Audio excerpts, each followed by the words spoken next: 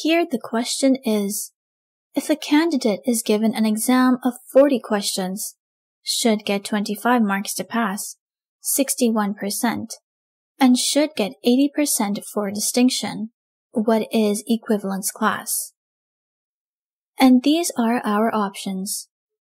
Let's draw the equivalence classes diagram to get the answer.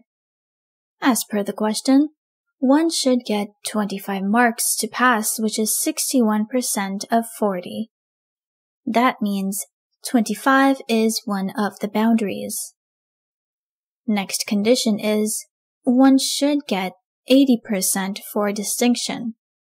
Here we have to find 80% of 40, which is 32. That means 32 is the other boundary. This is how we have to draw the equivalence classes diagram. Now let's analyze each of the options one by one. Option A is 23, 24, 25. Option B is 0, 12, 25. Option C is 30, 36, 39. Option D is 32, 37, 40.